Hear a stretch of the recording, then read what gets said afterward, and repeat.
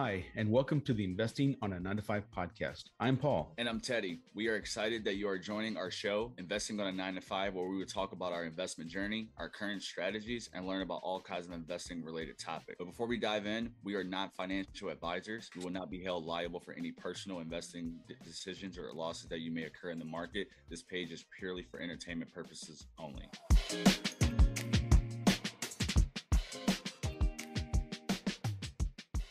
Good morning, dividend dogs. Teddy, what's crack a lacking? What's up, Mr. Options Legacy? Man, busiest is, man on the planet. Paul is the been busiest. a minute. I've been texting, calling Paul, going to voicemail, no response. I'm like, this man is now running the entire university Not down true. there now. Not true. I'm like, they taught, they got my podcast money away from me. They took them away from us, guys. We were working 10 tens. it has been nuts, man. I can't even believe how crazy it's been. Between your promotion, you being out of town, out of pocket, going and seeing the secret inner workings of the Corvette. Oh, that mess. And oh, my yeah. just life, it's been crazy. I'm glad we're finally getting together, though. Yes, finally back. Catch up. Back on I would say our regular. what do they say? Your regular schedule programming. Now returning to our regularly scheduled program. The Investing on a Nine to Five podcast yeah. in your ears and on your screen. Hopefully, you guys been thinking about us out there. Shout out to all of you guys for tweeting at us, letting us know you guys been thinking about us and Definitely. sticking with us even through yes. our unpredictable posting. Because we really, try, we've really been trying to get on on air. it's been it's been like let's do like a little recap. So you you got promotion. We talked about that, which is awesome for you. So you had to go out of town for a little bit. And yep. tell me about that. Tell me about being where'd you go? Detroit? Yeah, so I had to fly out and obviously go back to Detroit and it was like an intro week to uh the like the the, the training that we're going through for sale, the sales management program and um yeah, it was a cool week. We got a lot of intro to the history of GM and shout out to my Wave 32 people out there. They're listening to the podcast. Definitely, you know, talk to them about, you know, you know, we were just talking about stuff that we do outside of work and obviously, you know, it's, it's not one of my passions here. So, um, yeah, gave, you know, dropped a little link on us, but yeah, we talked, like I said, got a whole overview of the program. How many, how many dividend 401ks have you set up just through your, your training week? How many people are now? Well, there's only 10 of the dividend dog. There's only ten of us, including me. So, I mean, you you can say nine. There you go. I mean, yeah. I mean, listen, listen. Before I said anything, um, it was funny. I was like, "This is not financial advice." but hey, listen. If you're gonna, you know, if you're gonna, you know, if we're gonna be around each other, working hard and on the same team, why not? You know. Well, I think also it generates a little bit of it's nice to get to know what, what everyone's interested in because you never know what you yeah. might find out someone else is doing. You might all of a sudden go, "Oh yeah, pottery sounds cool. I'm gonna get into that." But at the same time, I mean, you genuinely care about other people, regardless of how much how well you know. Like anyone I talk to, if if in, if the topic of investing comes up, I'm like, oh, you know, what do you do? What do you know about? And if I can help at the same time, if I can learn from them, because mm-hmm. you and I know, you know, we're we're in this group, and the the dividend community is so good about sharing knowledge that you learn stuff you didn't know before. You get a different yep. perspective that you maybe didn't consider before. And all of a sudden, just because Celsius doesn't pay a dividend doesn't mean you're not going to invest in it because Dave Greta said it's a great company. That's what I'm saying. So I'm just, you know, so having that open mind and then and and and at the same time the open willingness to share that just a that's just transfer of information. So you're showing your your new coworkers how much you're willing to share and you hope they do back with you. But at the same time, you're looking out for their future. Exactly. Only reason I even got into the boat even said anything was because when we were filling everything out, we had a time to go through. They made like a time for us to go through it.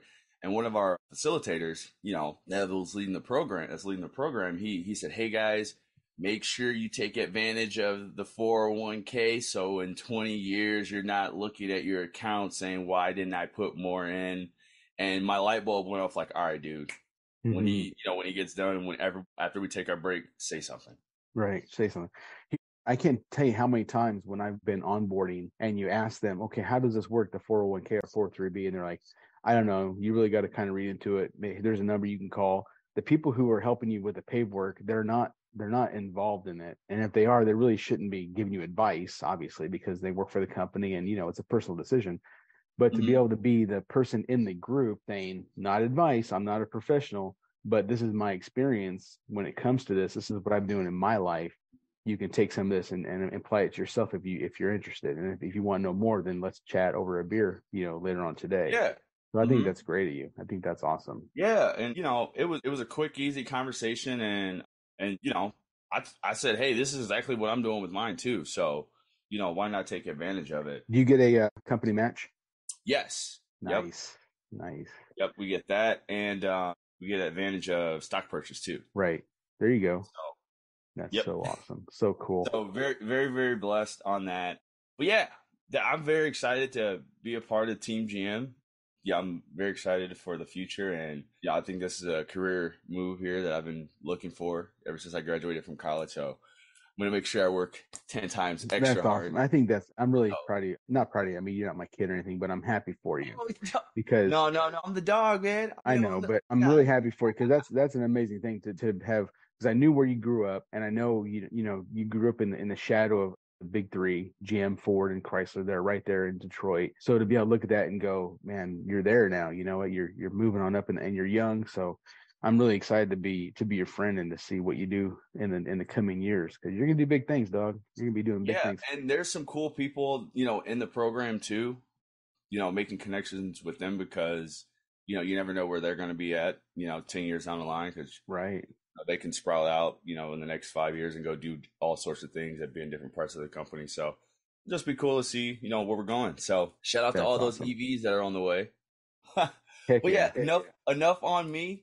Give me and us an update on what you've been doing. Obviously, I want to know what has been going on with Amazon selling. It's been good. So in general, you know, not only do we do we give it do we give our perspective investing because we're 95 workers we have regular jobs but our families come into the play mm-hmm. so over the last like couple of months i've got my kids have had you know different kinds of appointments doctor's appointments and stuff my wife has had you know I've, I've shared on the podcast that my wife suffered a stroke right before covid back in 2020 so there's lingering effects of that that she needs treatment mm-hmm. for so we've been going to different doctors and stuff she's got some issues with her eyes we had to go to to a specialist last week where they actually gave her injections in her eyeball. Like I had to sit there and hold her hand while they gave her like the needle went in the eyeball. It was it was so oh um, my god so crazy to see, but you know, and it was painful. But it's like things like that that are going on, you know, and and and just he's kind of out of pocket after that because there's pain and stuff involved. So you know, the kids and the family and work is all just kind of just just kind of piled on at the same time, I'm trying to uh, hold on real quick. Got a little singing angel in my background. so uh, at the, at the same time, you know, so at work, my the the my boss, who I was hired there in July with the idea that he was going to be retiring soon, and at the end of uh, at the end of April, he kind of took a step back from full time work, and he's only coming in a day or two a week. So I've been kind of taking on the the duty that he did, as far as running our security division and CCTV stuff. So that has piled more daily work onto me.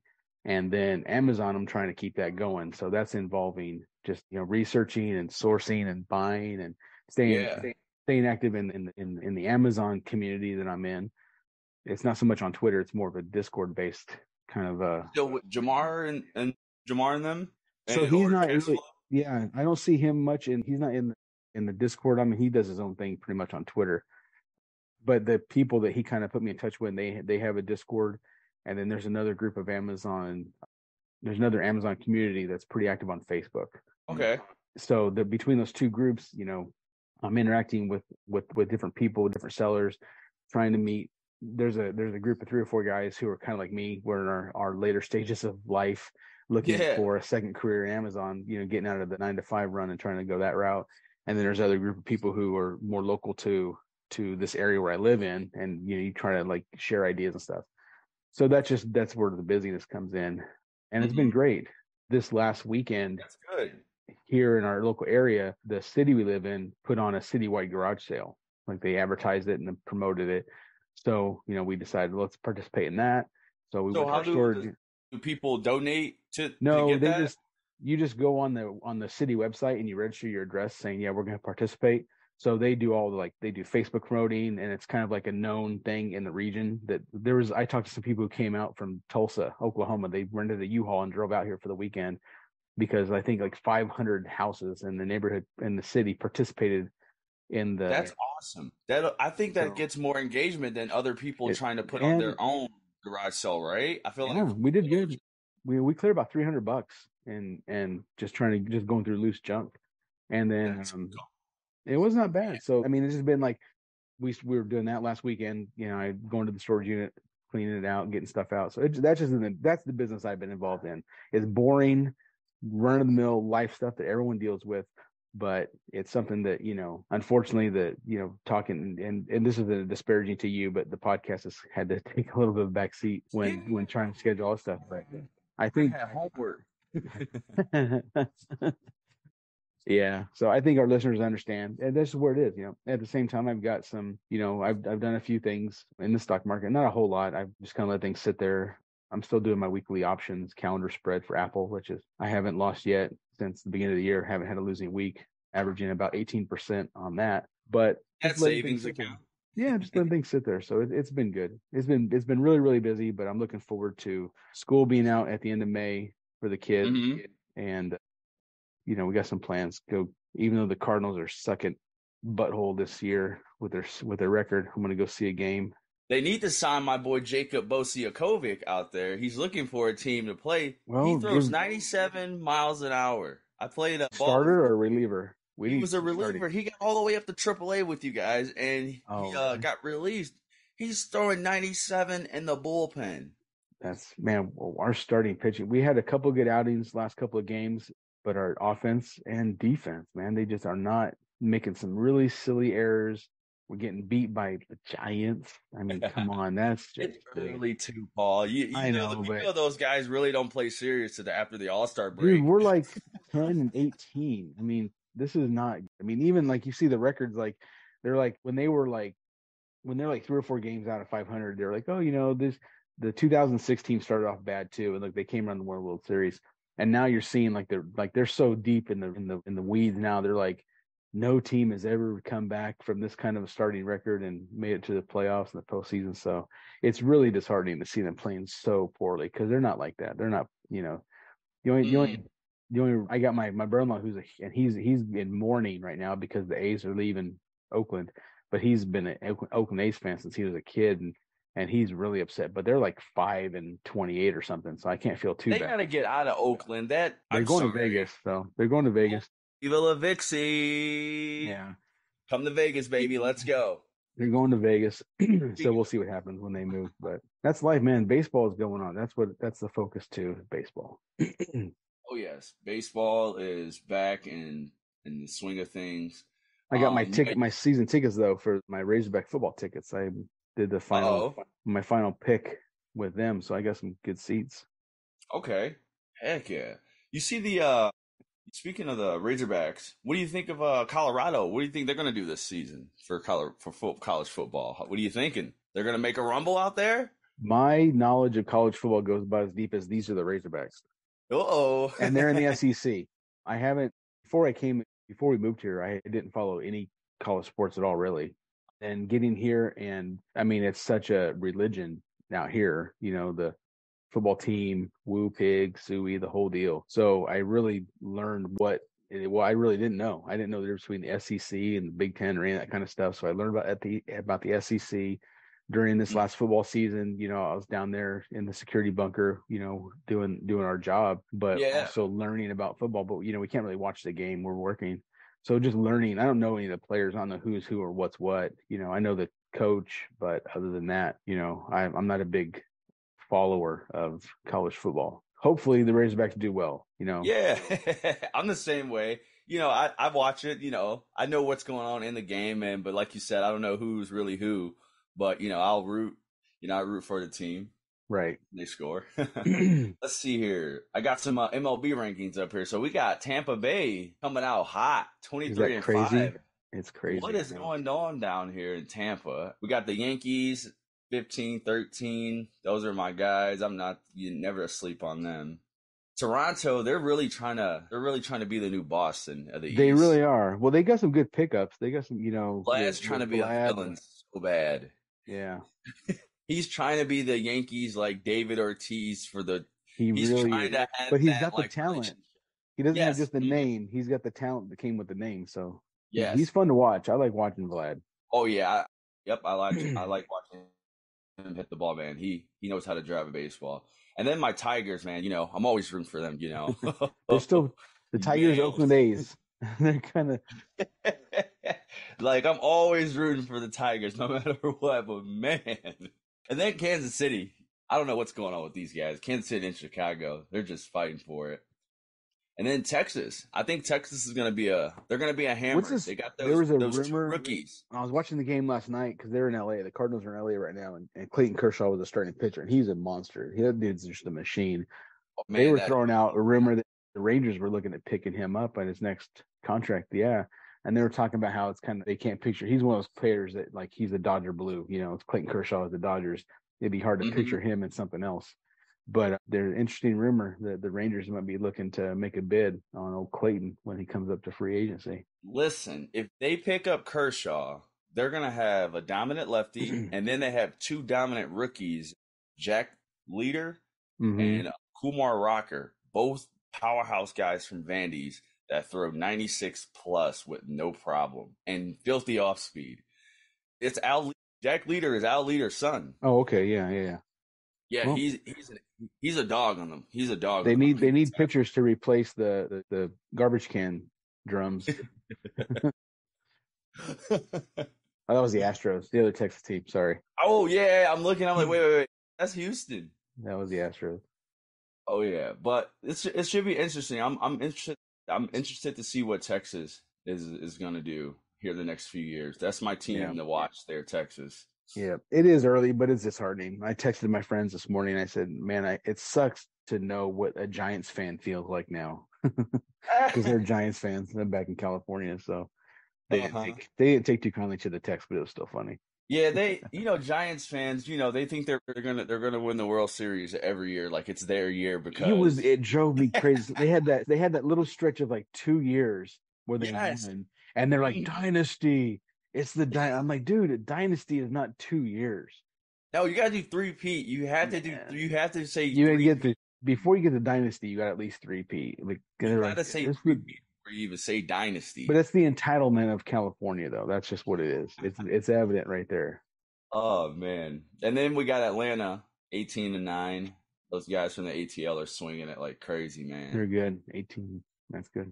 Let's see, Arizona. They They're coming Drew up a little bit. Yeah, They got Druw Jones Jr. or Druw Jones, Andruw Jones' son. yeah. Rookie. Arizona's they're doing well. Yeah. And All these teams you're reading off of. Yep, they beat us. Yep, they beat us. Yep, they What, beat us. have you guys played the Orioles? You know the Uh, yeah. Orioles got a, Rory Hollidays. You know Rory Holliday. Oh played yeah, yeah, yeah. His, Yeah. They got they drafted his son. Yeah, um, not Roy How can they not? How did they not pick him up? How did Holliday not like? How did you guys not call Holliday? Say, hey man, They had him. We had Holliday as a batting coach. They hired him in the offseason. It's not Roy Holliday. It's Matt Holliday. They hired him in the offseason as a batting coach. That's what I meant. Yeah, Matt Hollidays. And then he, before the spring training, he said, "I'm actually going to bow out and go continue supporting my kid because he's got he's got his son who just entered the draft, and he's got another one I think in college, Okay. and he's coaching and he's helping coach. I think it's OSU. Don't quote me on that, but in that's what it is. Somewhere. OSU, Yeah. because that's where he graduated So from. yeah, he was our he was going to be our batting coach, our hitting coach, and then before the season even started, he bowed out.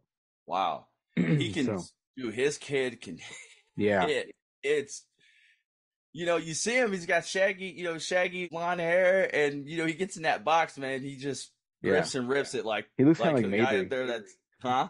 Mabry, like the hair, the little bushy hair. So, Mm-hmm. but yeah, he's he's definitely awesome, and you know he's one of our, our St. Louis Cardinals Hall of Famers for local, you know, and he'll he may be destined for the Hall of Fame. I'm not sure, but yeah, that was it was upsetting when you know, we're excited that he was going to come on as the as the hitting coach, and then all of a sudden, you know, he decided to take a different turn. But that's the way it goes. I, I get it. Oh, yeah. His kids are there, and you hear these players talk about how they spent so much of their lives, you know, in baseball, and they're gone, you know, from spring training until the postseason. They're never home. So I can, and you miss a lot. I it, October. it bothered me to miss so much of my kids growing up and stuff, and not be there for their games, not be there for their events and things. So I see Mhm. you know once they're once they're able to get out that they're able to go be part of their kids lives that's what wainwright has always talked about you know this is i think this is going to be as finally as last year but the last couple of seasons he's talked about wanting to to spend more time with his family and to be there for his kids but you know the, the, Right. the lure of the game i can imagine you know he wants to get those 200 wins he wants to get some numbers that will put him at least in the discussion for the hall of fame Yeah, because the I mean that's time, why he family started, you know. right But that So is we'll the see what hard happens. game though when you when you you know you have a family and then you know family becomes bigger than the game because that's at that's Yeah. at, that's at the end of the day looking back that's all you got is your family around the game so but you also have that young bull that you know when you're in the minors you're just ready to go and that grind starts and you can't stop that grind it's like Tom Brady Brett Mhm. Favre look at Brett Favre guy retired once you came right back again and was like I can't sleep well they all did it michael you jordan know. did it you know they they Jordan yeah yeah Oh yeah, but that's that's the fun part about sports and and looking out. You can you can really apply it to you know to your life as well. Yeah, that's why we came out here. You know, we left California and left to to be out here where we have the opportunity to be this thing for the family, to be around for them, and to even if it is just running between appointment to appointment, you know, it's the freedom to do so, and that there's no stress at work that I'm gonna that I'm missing something or that people are talking crap behind my back because I'm not there, just all kinds of things, you know. So it's a good Mhm. feeling. Do you, I don't know if you guys have this down there in in where you are What? in Georgia, but this is the most unfortunately named. Coming up? Wait, there it is. Oh, come and go. Coming. I think I may have seen a couple of them, but every time I do see them, I'm like, dude, why is that place named Kum & Go? I know our friends. Our I friends were always say it. Our friends came up and go, and they like, "Is there really a place called Kum & Go with a K?" I'm like, "Yeah." Yeah, they really named it Kum & Go. that And there's is this weird like rivalry out here between the Kum & Go and the Casey's. Like, if you go and Kum & Go and you say like, "Oh, I was at Casey's," they're like, "Get out!" You know, they like Oh, some kind is of that type of rivalry? yeah, man. They, they don't like each other here. It's something else. Anyway, it's funny. I just I'm drinking my my sody out of the Kum & Go cup, so I couldn't get more southern. So you got you got Coca Cola in there. This is actually Diet Mountain Dew. Diet Mountain Dew. Ooh, that's good. That's good. That's good. Yeah. Ooh, you So- know what? You know what's funny? You know what? You know Intel has just been. Isn't that funny? Wow. I'm not gonna say anything, but let me yeah. see. I just let me look at my dogs of the Dow portfolio because that's where I keep track of my um New intel. report just came out. Did it? um, When did it? When did it come out? on the 27th. that It's Okay. uh, you know, it has a bullish trend. Said in the recent months, Intel also provided its PC nodes and product roadmap and data center. Um, Wow. market leadership and blunt aggressive towards AMD. Intel is the best return right now in the dogs of the Dow. Seven. It's up seven point nine nine percent as of the close on Friday for me. I got in at twenty eight dollars a share. It's at thirty one. Let's do a quick dogs of the Dow. So Intel is up eight percent. Do your dance, Paul. Dow is up 3.12. Verizon is up three. 3M is up two and a half almost, 2.46. I Cisco, think they're gonna, up, they're gonna make a bounce back too. yeah, Cisco is up two and a quarter. JP Morgan up 1.5. Chevron up 1.3.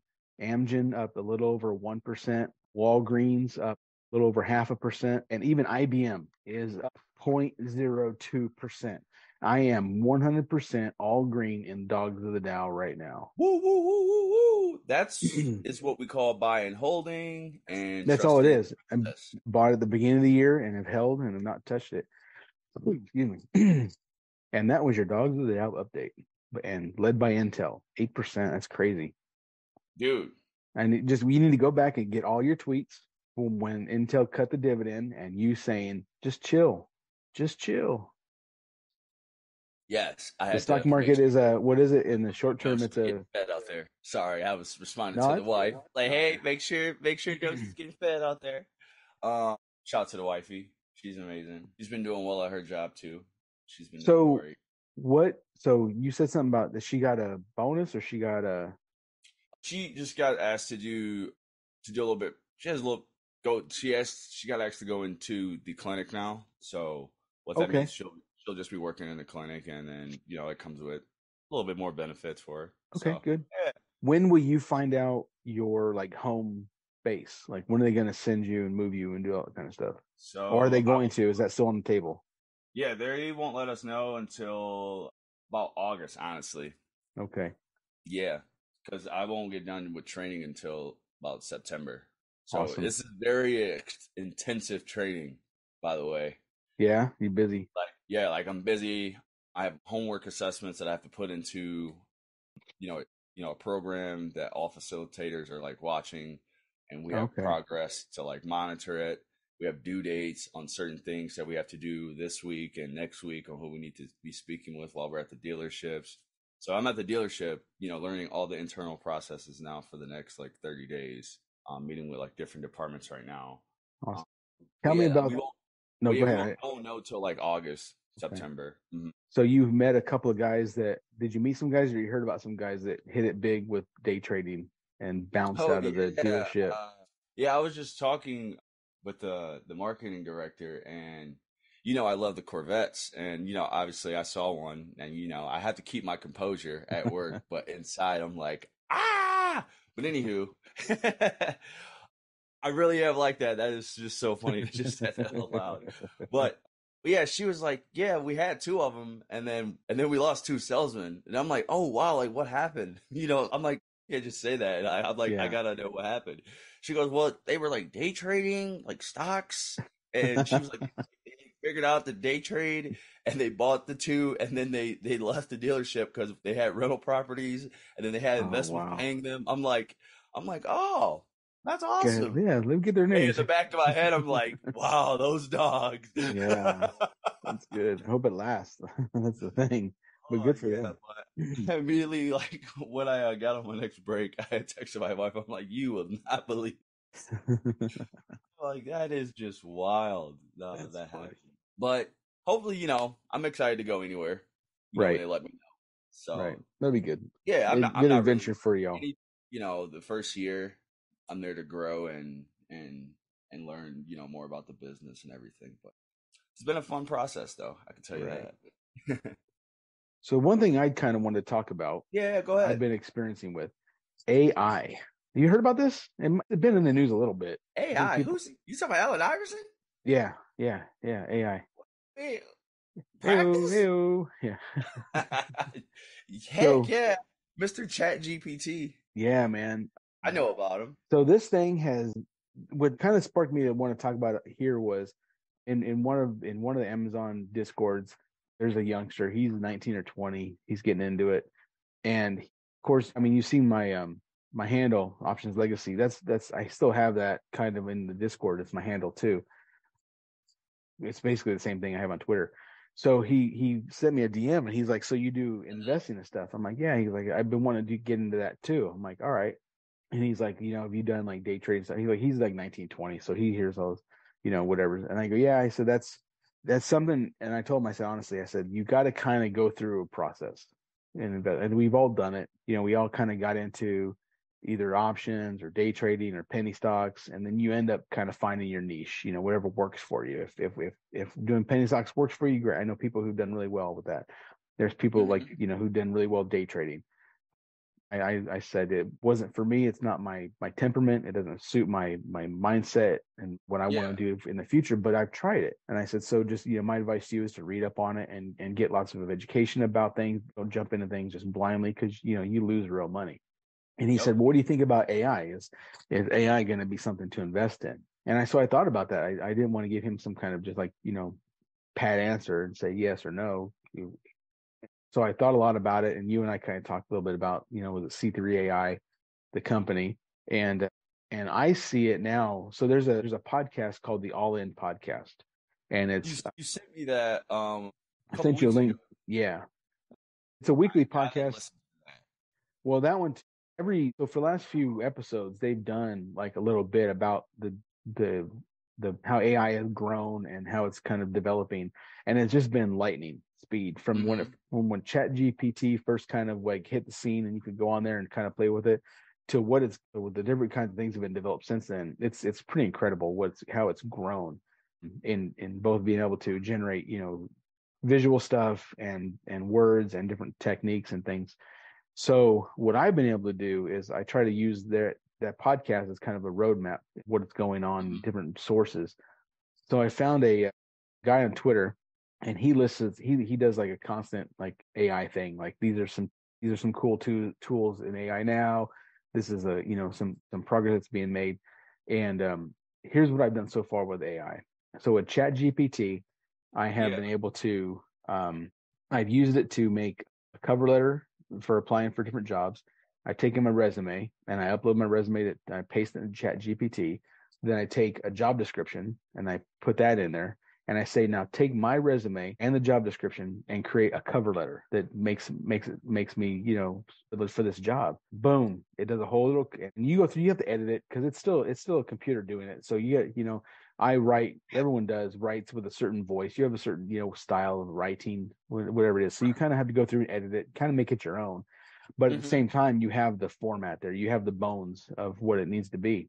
So. Right I was doing some other research. So this kind of goes back to my job is when my when my boss left, um, there was he had kind of like this very loose outline of a training program for our our CCTV system. It's it's from a company named Avigilon. That's the company that produces our cameras. So he said, you know, when you, we're training new people, here's the here's what I used to train them with. So I went through it, and it was kind of like, you know, he's he's in his 70s, so it was kind of written like a guy in his 70s would write Word document about how to talk about training something. It's kind of like him just typing what he would say. So I kind of rearranged things, kind of put it in order and, and rewrote a little bit. And then I took it and I took what I wrote and I uploaded it to another AI I found. Okay. I can't remember the name of it, but it's not Chat GPT. But you can upload a document into this AI and you can say, now rewrite this in the form of a blog post, rewrite this in the form of an educational lecture, rewrite this in the form of a letter, rewrite this in the form of a, and you can choose different forms. So I mm-hmm. had them, I had it take what I wrote and rewrite it in the form of an educational d- demonstration presentation. So it kind of went through and it rewrote it, changed some words. I went through behind it and I kind of, you know, made some edits myself. Then mm-hmm. I took that edit that it made, and there's another AI that created a PowerPoint for me. So I took that AI and I upload the other AI, the PowerPoint one, and it made me a full 11 slide PowerPoint presentation from what I wrote. And all I had to do was go behind it and add some media, like some pictures and some different things like that to make it, you know, more presentable. But mm-hmm. basically, I didn't touch it. I didn't edit anything it did as far as like did perfectly in order and it, everything was just great as far as the heading go. It did its own little headers and bullet points and it did a perfect PowerPoint presentation. All of that from the time where I took his original file that he gave me until I finished the PowerPoint, maybe wow, 45 minutes. That see so from from I mean, you know, and that's do a normal to think about even doing enough information to so that's what I'm saying. So if and I what I can see people out there look at this, it's not some weird fluke. And my point is, I don't think this is some weird fluke. This isn't like 3D printing. This isn't, you know, something that's going to come and go. Come and go something that's just going to be here and then gone. I think it's going to be. Oh man, it's going to be something that we're going to. If you're gonna, and there's people, oh yeah, what about the people losing their jobs? Blah, blah, blah. We'll say that to the guy who used to work on the Ford assembly line. You know what I mean? There's jobs that are going to go away with technology all over the place. But learning how to use these tools in your job yes. is something that's just crazy and amazing.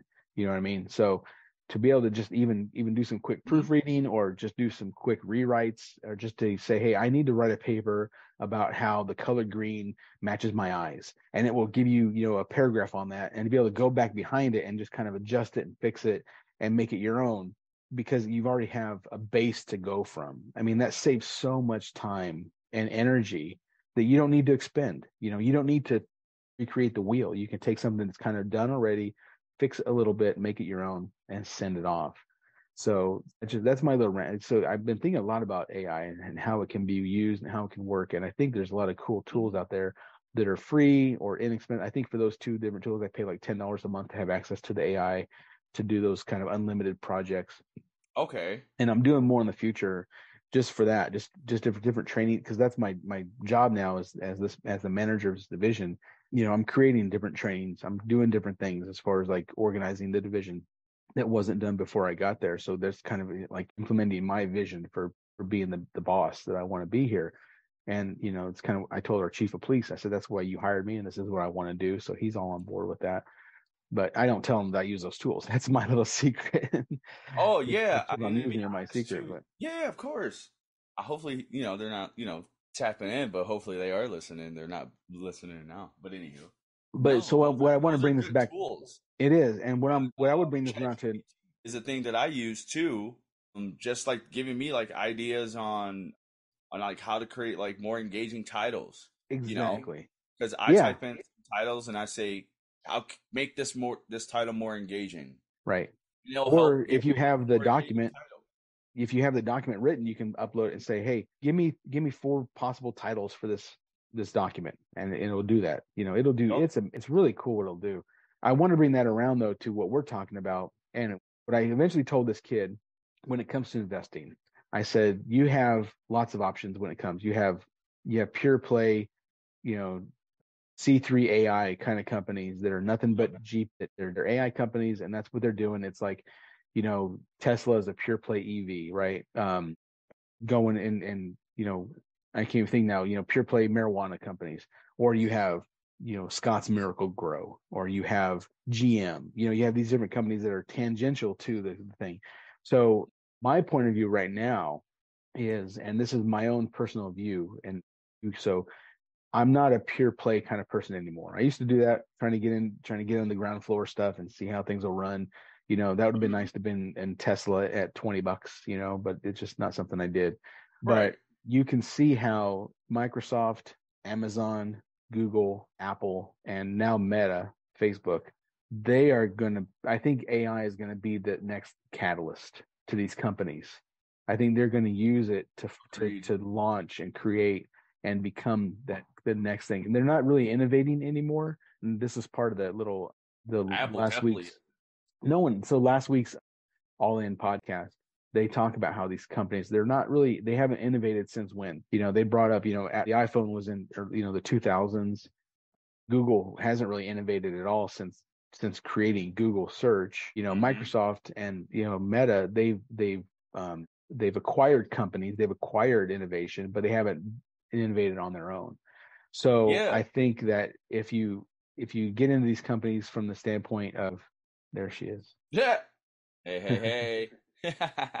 getting getting to these companies I think unless you're unless you have and you you should have a little percentage maybe in in pure play AI kind of stuff, but mm-hmm going into Google, Microsoft, Apple, Meta now, I think you can ride some of this AI stuff into the future. I think you're going to find that their their future growth possibilities, I think, are going to be centered on AI. That's my personal view.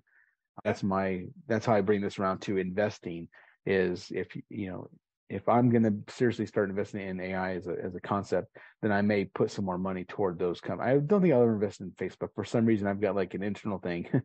Smoking companies and Facebook to me, personal view. I don't care what your view is. Twitter people, keep it to yourself.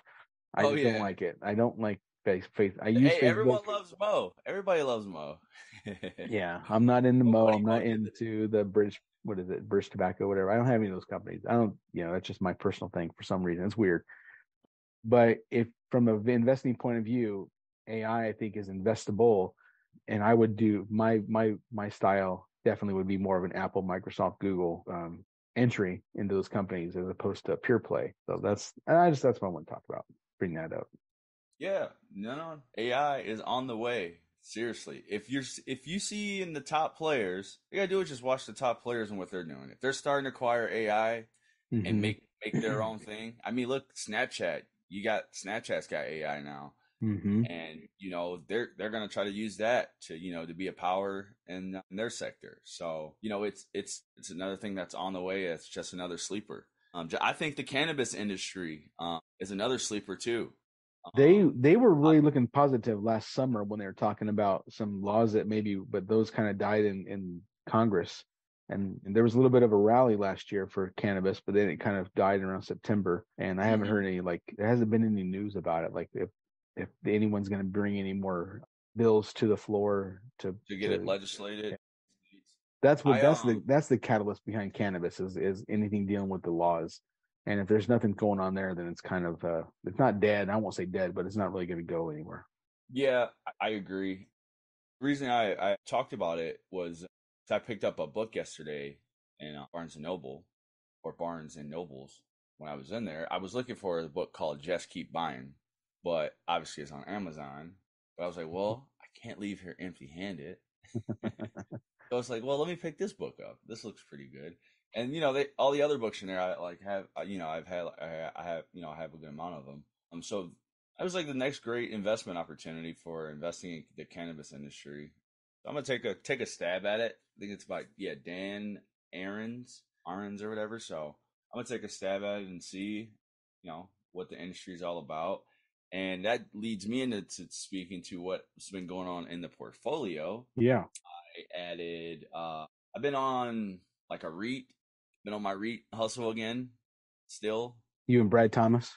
Yes, and everyone else too. Shout out to Brad out there. Brad's always, Brad's tagging me in his tweets, which is very very inspiring. Awesome. So he's definitely an awesome guy to follow out there for investing in uh, REITs. You guys should check out his book too, The Intelligent REIT Investor. Uh, but yeah, I picked up IIPR. I actually made a YouTube video on it last. I like week. IIPR but I was so busy that I couldn't even like edit it real quick and posted it. So I was like, "There's oh, an AI for that." Huh? There's an AI for that. there's a, we used to have an app for it. Now there's AI for that. That's right. That's what it's going to be. That's what we're going to be saying. Uh, but yeah, picked up IIPR on the bottom. I think it was around. Uh, what did it get down to last week? I haven't followed it. Here, I'll pull it up here. I picked it up in the Roth. So I've been throwing, like I said at the beginning of the year, I've been throwing all my REITs in my Roth. Good, good, see. good play on that. Saving the taxes. Oh yes, sir. Down at sixty four. Did you get down there? Yeah, my average cost is. I actually got in at sixty. Actually, around 65, 66 actually. Okay. Because my cost right now is at sixty seven fifty three. But I picked up a couple shares of that one the bottom. And I think I think right there is, is was a good spot to buy. Now, am I going to continue to load the boat if it goes lower? Yeah, sure. Why not? I, I think this is a, a great long term play. I yield. They've been growing the dividend as well. I'm keeping it in the Roth, and I can, like I said, I see you know the future, you know, for the cannabis with industry. You know, once once once everything else from the top slows down, we got, I mean, we have a lot of stuff that's going on at the top. I mean, this is right here. They're not going to put this on front end of the plate to get the cannabis legalized when the economy is on front end of falling off of a cliff. You know, we got people, you know, still like losing jobs, layoffs. So I feel like once we get a turnaround and we have some growth in the economy, you know, we have a little bit more economic stability with people, you know, having stable jobs. I don't know, maybe the housing market has to change. I feel like this right here will hit a boom and this will just help propel us even further, you know, into, you know, to, to right. more you know, the growth here. So that's just my long term thinking of it, and that's why I'm, you know, going to read the book on. That's why I picked up that book on investing in the cannabis industry because they're a REIT. They uh, specialize in having the the facilities that cannabis owners are growing their cannabis in. So yeah, I had IIPR. I rid it well for my wife and her portfolio, and I did some realignment in hers to make it more retail oriented. Mm-hmm. But I had it I remember back, so I guess it was late last year, they had a lot of negative, kind of the same as the MPW. Some of their tenants, you know, we're talking about not being able to pay the rent and stuff. So that kind of brought IIPR down. And I think that's the only, that's the headwind that IIPR is looking at is it's only as good as its tenants. MPW had the same thing. And I think it went, it came out pretty well. I know you got out of MPW. But actually I did I did remember I told you I got out, right? Yeah. And I waited. I was like, I'm gonna wait. I'm gonna wait it out, wait it out, and I'm back up to back. 30, 35 shares now. Yeah. So that's just, and I like IIPR. I like MPW. For those out there who are looking at them, that's what you need to be concerned about. You got to look at who their tenants are, where their income comes from, and you mm-hmm. know if because if their tenants can't pay the rent, then then they're not going to be able to to give you any kind of return from the div- no. dividend and stuff. But I think they're good companies, and I think they're and if you look at the way the dog was looking at them, is set your buy line, get in. If you drop, you know, if you have a like a stop loss, not official stop loss in your account, but if you say, hey, if this gets down ten percent, I'm going to go ahead and get out for a little bit, let things calm down, and maybe get back in. That's a good way to play them. Yeah, MPW got really really bad. Like guys, like I'm like, listen, I believe in the company. I know if I continue to DCA, I, it, that's that's just it, it. just wasn't smart to can lose money continuously, right? And continue to buy in. So I was like, you know what? Let me just stop it here. Put it on the watch list. Watch it on the chart. Once it starts, you know, having some positive areas, then I'll start. I'll start, you know, adding back in at different spots. Good play. Um, good play. And but another one I've been having, I've been you know been adding heavy to is VICI. Oh yeah, yeah back back in with VICI. I'm at uh, 20, 24 shares of VICI right now. I think I'm really chasing. You know, I'm chasing 100 shares of VICI along with I'm I'm going to get my 100 shares back at MPW. The dog is going to get those back, guys. We're going to get um, them back. I think I added VICI somewhere. I think it's in my wife's account too. Yep. Yes. Yep. We've got VICI. I've got her in at 32.52 average right now. Oh yeah, yep. VICI is obviously casino based. Right. Earlier we talked about Oakland A's are moving to Vegas. Yep. So Vegas, you know, they have that huge. Uh, have you seen that huge like indoor sphere that they have out there? That's gonna have like the huge screens. That's gonna give you like a huge no. like 5D dimension of like a like, yeah. It's gonna be nuts. Wow. Yeah. I was out there, um, you know, for work. So they were they were like they were, you know in the process of building it. I was like, this is gonna be nuts.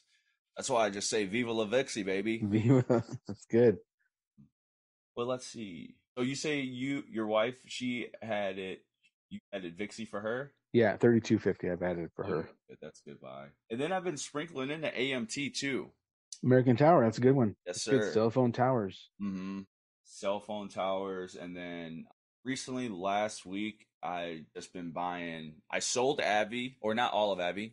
I sold it for some profit, mm-hmm. and then I took that and picked up SCHD and more ETs. So now, update on the SCHD challenge. I'm at 56 shares of SCHD. Nice. Yeah, so I'm rolling strong with that one. And then ET, I think we're almost to like 250 of like shares. I am kind of kicking myself because about a week or two ago, mm-hmm. I was mm-hmm. thinking I I need to look seriously at Eli Lilly because I'd heard the stuff about their their weight loss drug Mounjaro that was gonna they were gonna present up for um for FDA approval. It's it's approved for di- diabetes right now. Uh huh. But they were gonna make a run to get it approved for weight loss, and that was back. You know, it was I want to say it was a week or so ago. It was around 370 maybe. Well, then this last week, they made the announcement that they are actually filing to get FDA approval on that, and it ended last week. It went over 400 bucks. I see that. that news. I never bought it. I kind of upset about myself that I didn't. It hit oh, new new all time highs, new new 52 week highs. I'm not sure about all time highs, but that's something to look at. It may come back down a little bit because you know FDA approval takes months and years sometimes. So if mm-hmm. this comes back down, closer to like you know under under under 400 under three i don't think it's maybe back down to 380 if it gets down to 380 again to me that would definitely be kind of a buy area. I don't think we'll see um, those lows 320 you know the march lows but there's a gap for it to fill uh, between wait is there a gap? I'm not looking at a candlestick i'm looking at a line chart so 386 and 385. I think 380 is a good spot. If it gets to 380, that might be someplace to seriously consider for me, not investment advice, but I might seriously consider it at 380. Oh yeah, that I see. I from April. It looks like April 25th. It like went down, consolidated, and then it continued to shut up there. Anyone who bought in March was awesome. 320 last year. Oh yeah. I mean, even if you bought a month ago, you're up 16%. Yeah. So I think that's a good one to watch. Uh, if you if you're interested in looking at different healthcare opportunities, Eli Lilly is definitely one to keep an eye on. You mentioned AbbVie, that's what made me think of it. I wasn't planning on talking about it, but I've really been thinking of what to do with AbbVie because it's just been standing still, honestly. You yeah. know, I got in at what, 116 and what it's 150 now. I mean, just think I mean, I could have taken profits a long time ago and bought more ET and made you know, that's the big struggle, right? That's the struggle when it comes to any of these things that we're doing is do we go ahead and stick with it and mm-hmm. because I like the company or can I can I do more with this money somewhere else? You know, you made that calculation with MPW when you initially got out of it. So with a company like AbbVie, you know, you have to make that decision. Is is it really is how much how much there is there? How much is left to to move this thing forward, and what's going to take to make it move forward? Right, and it's just like, why even? Do I want to wait it out, and it's like with AbbVie, you know, my thing is, I know, you know, with their Humira drug falling off, I know, you know, Rinvoq and Sky Skyrizi are going to be the leaders, but you know, Wall Street. Skyrizi, still... that's not just a Snoop Dogg song title. That's a real thing. no, no, no, it's seriously, it's, I think it's Sky yo. Sky Rizzy, or Sky Rivy or Rizzy, something like that. Um, but you know, Wall Street, you know, it's still gonna do its thing and grade the grade the stock a different way, even though the company's saying one thing. So that's the hard part of separating the price from the, actually what the company's saying. Like your eyes are like, who do I believe? Right. You know, they're going one way or the other. But you know, I, I've always I've just been thinking like, hey, do I want to just say, all right, cash out on AbbVie, take half of it, or you know, split the you know split what you have in two and two, and just go all in on like Hershey's or something like that, or go all in on split it up between Eli Lilly and Hershey's and just see what the portfolio does with SCHD because you got different sectors, yeah, and little, Eli Lilly. Yeah, you get a little bit of uh, a little bit of um, damn it, what's the word when you have different sectors? Diversity. Diversity. Oh my gosh. I got yeah. you. I'm just kidding. A little bit of diversity. you could be like, that, um, you know, I'm really thinking about Dave. doing that, guys. Really I think it'd be a bad deal because I'm already, I already got AbbVie and SCHD. Yeah. And team at Schwab must see something in AbbVie that obviously that we see too. So that's why they added it to the, you know, the front of the port, you know, the, the you just, yeah. you just mentioned another one I think is a little bit of a sleeper, and that's Schwab itself. I think Schwab is one that's going to kind of a lot of banking stuff is going on, and it's not necessarily a bank, but it acts like a bank, and I think it's got some some tailwinds for it when it comes to how people are changing the way they're doing their investing and stuff. I think you're seeing a lot less Robinhood and a lot more, you know, E Trade and Schwab kind of people getting into business. When TD and Schwab finally make their merger 100% complete, I think you're going to see some growth there behind Schwab. Sweet. Because it's kind of just been, I mean, it's SCHD is still on sale, guys. I mean, mm-hmm. buy it up because yeah, I don't know when this thing's gonna take off and where it's gonna go when it runs. Because I've never really seen it go. You know, I've never really seen SCHD have a day where it's like this thing is going crazy today. Well, you know? it can it loosely will track you know kind of the the S and P because most of its holdings are in the S and P.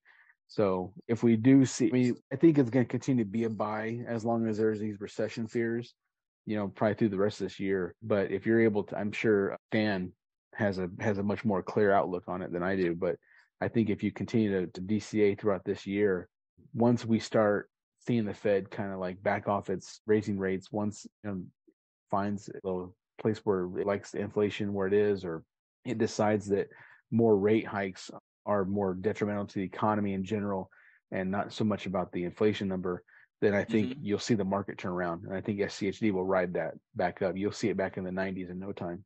I hope so. I hope so because it's a great ETF. I mean, I think it's going to do great things down the line. It just has such great value companies. And, you know, I, when I was talking with uh, SCHD Stan um, about, you know, the ETF, uh, you know, a couple weeks ago, you know, he was telling me one thing that I didn't know that if they cut the company cuts their dividend, SCHD that Schwab they gets rid they get rid of it.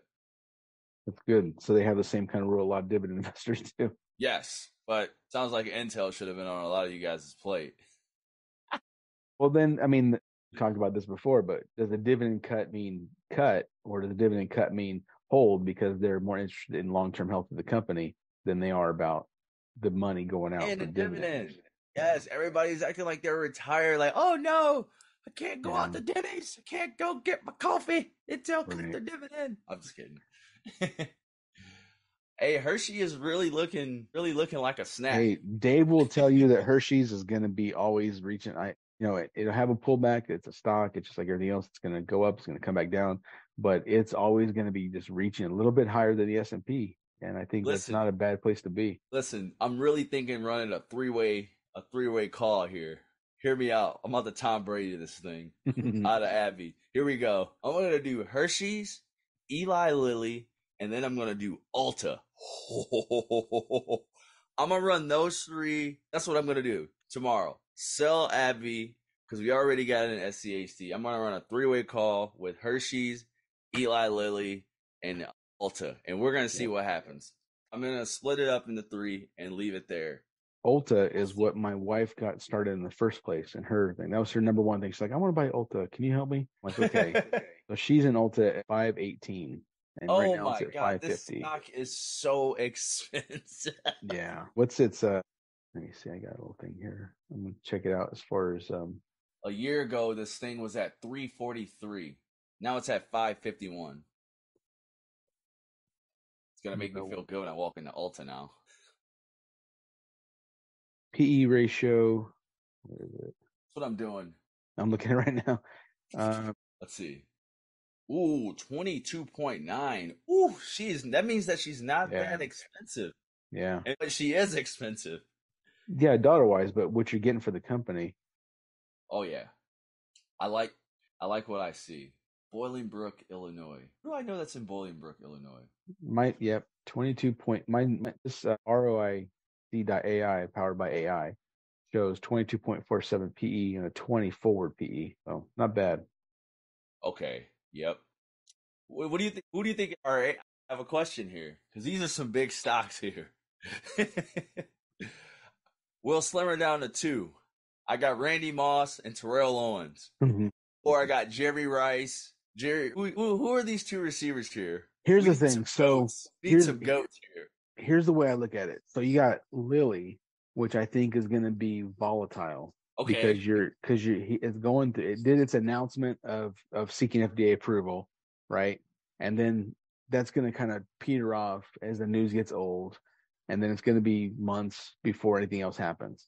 Then you've got Hershey and Ulta, which I think are just these, you know, they're the guy on the Price is Right that just climbs the hill all the time. And and I think if you're going long term, I don't think you can go wrong with any of the three. And if you don't mm-hmm. care about movement, you know, if you don't care about about Lilly going from 380 to 320 to 400, you know, back down to 350 over the next year, then you can be okay, okay. with with Lilly.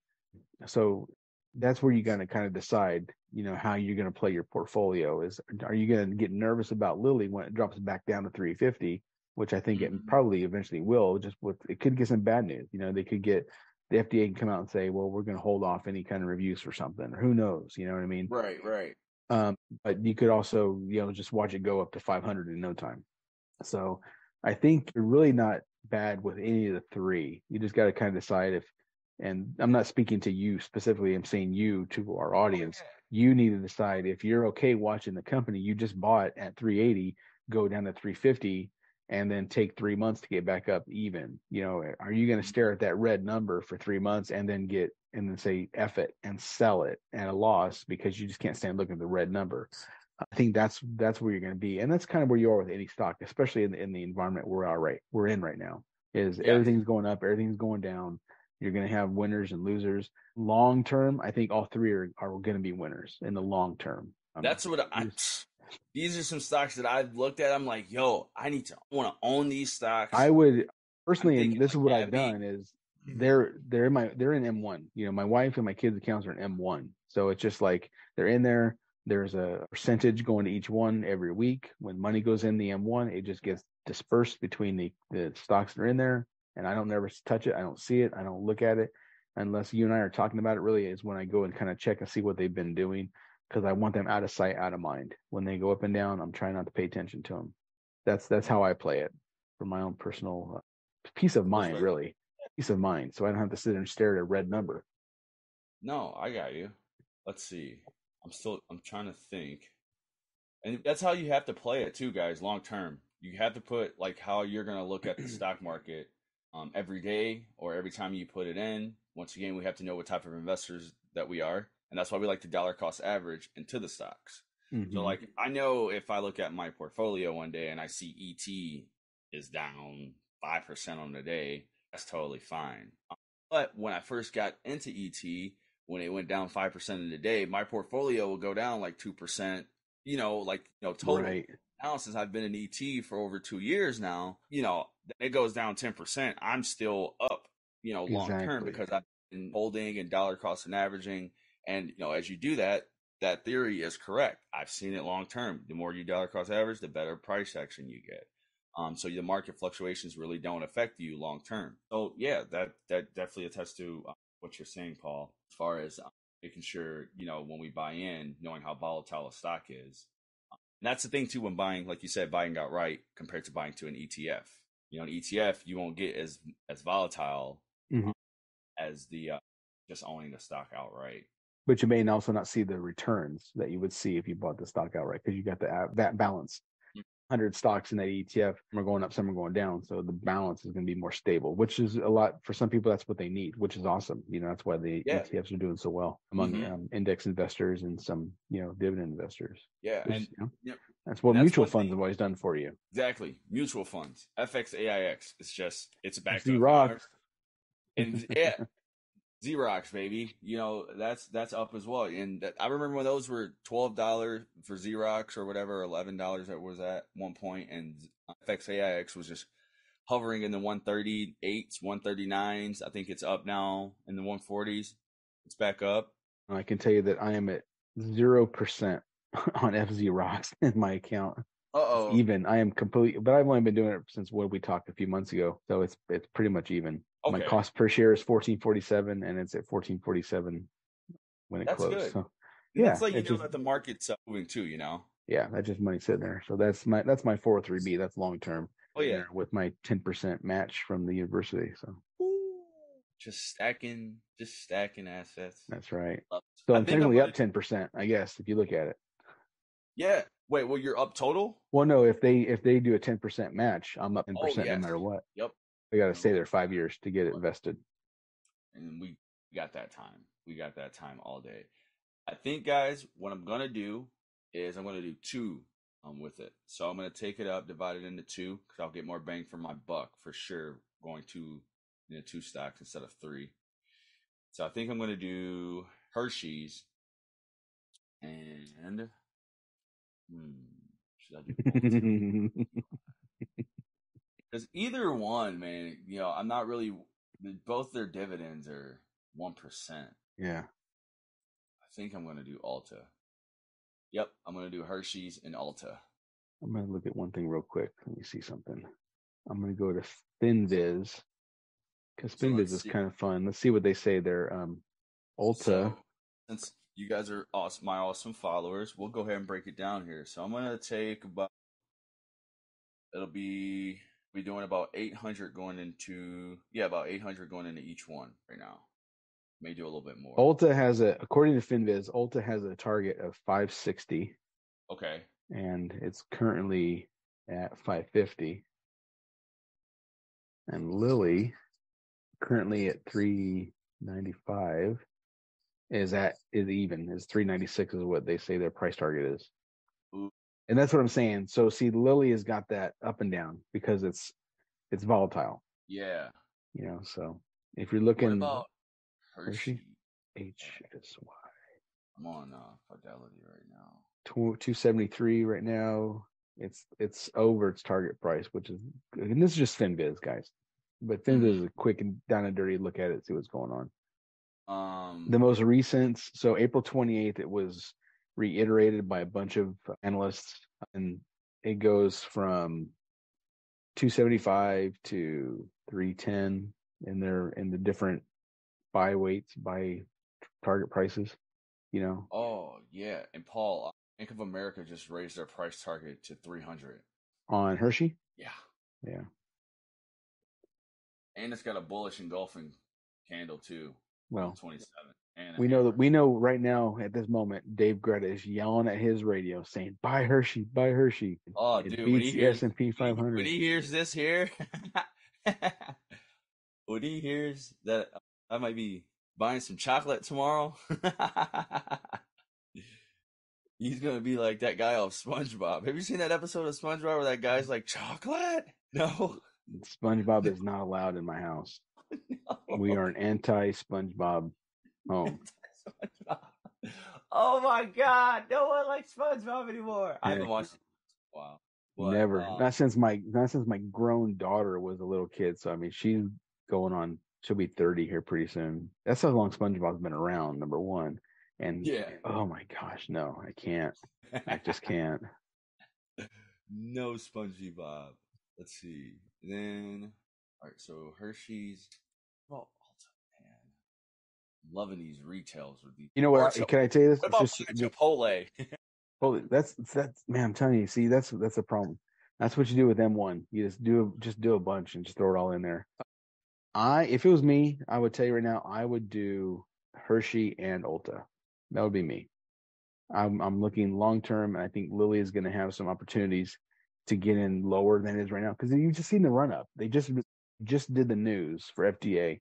That's why yeah. you see this run up. I think Ulta is going to be. I think Lilly will be a buy back down under 380. If you can get 350 in Ulta I, or Lilly, I think that's where that's where I'd be looking between 350 380 is where I'd be looking at at Lilly. Uh-huh. Okay. Let it come back down when it because the news just hit last week. So let some of that excitement run out. Wait till it wait wait till it pulls back a little bit. That's what I would do, personally speaking. Yeah. And then I'm just gonna yeah, that's what I'm gonna do. I'm gonna wait on Lilly, which is fine. I'm gonna grab Ulta and some chocolate. That's what I'm talking about. And let's see what happens. I think I don't think you can go wrong. I mean, we're you're gonna see we're gonna see pullbacks. You know, you, someone's gonna watch this and listen to podcast, and Ulta's gonna pull back a percent. And they're gonna, oh, you dummy, you bought it. Now it's red again. But that's just the stock market.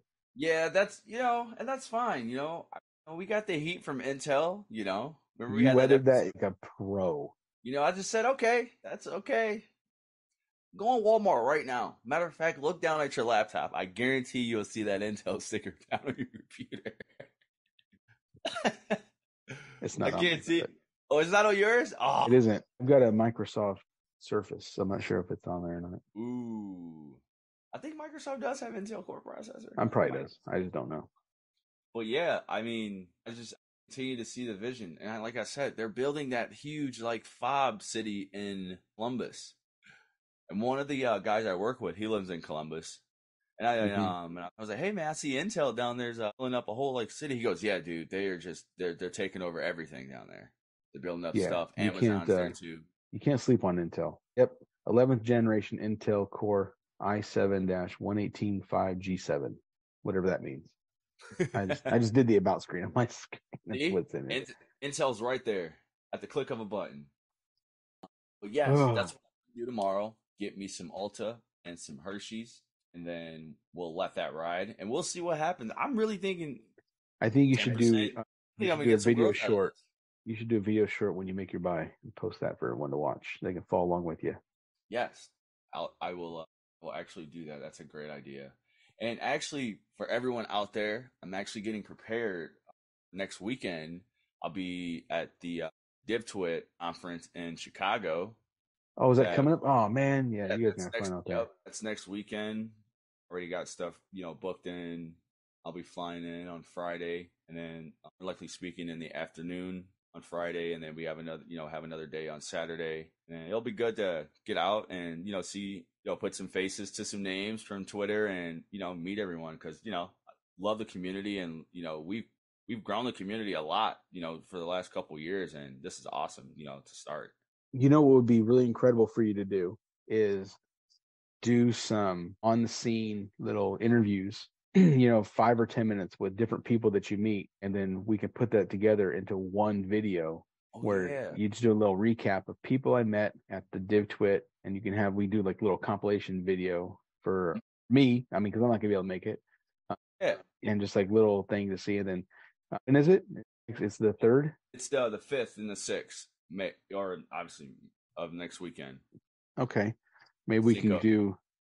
Uh, we'll do our pod on one of those days, and you can see who you can grab, and we can do a little yeah, on site. Yeah, we can definitely do that. I'll bring the. I'll, maybe you can get like that. Maybe that could be like a Brad Thomas thing. That'd be awesome. Yeah, yeah. If Brad can find like five, ten minutes to sit down with us. It'd be awesome. Or someone else mm-hmm. cool out there. Yeah, and you know another thing too. I've been you know dabbling you know more into is uh, crypto. Been you know buying a little more Ethereum. Uh, just been reading That's a about it thing. Because you know I've keep seeing come across the news that hey the value of the dollar is dying. You know, Yeah. so it's like you know it's not to put a scare out there, but you know you have to put that mental note like hey you know we got to be you know asset forward thinking. You know because You always be looking. you never know, you know, what's going to be coming forward. You know, what do you think of the Fed now payment that's coming forward? That Fed now payment with the government. They said they're they're canceling. They're thinking about canceling Venmo, Cash App, and Square. And I haven't heard about that. Everything they're going to be doing everything through uh, Fed now pay to the government.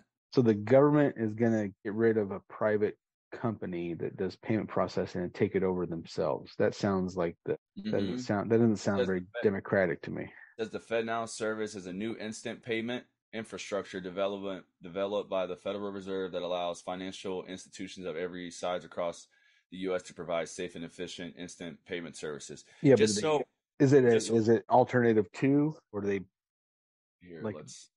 are they going to do something to actually get rid of the ability for private companies to do these processes themselves? Let's see. Fed now. It says it's not intended to kill or replace money transfers like Venmo or Cash App. See, that's why you can't be really Yeah, watching.